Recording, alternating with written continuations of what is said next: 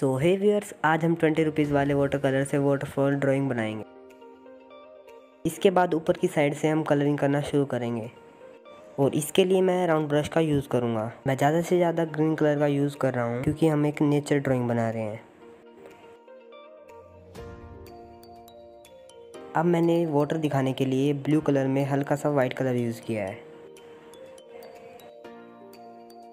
अब हम waterfall paint करेंगे।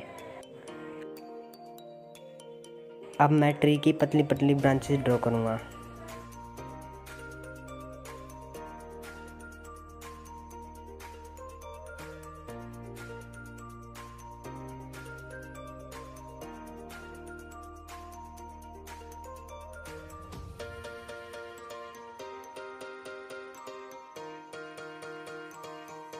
सो so, वीडियो अच्छी लगे तो वीडियो को लाइक कर देना और चैनल पे नए हो तो सब्सक्राइब कर देना।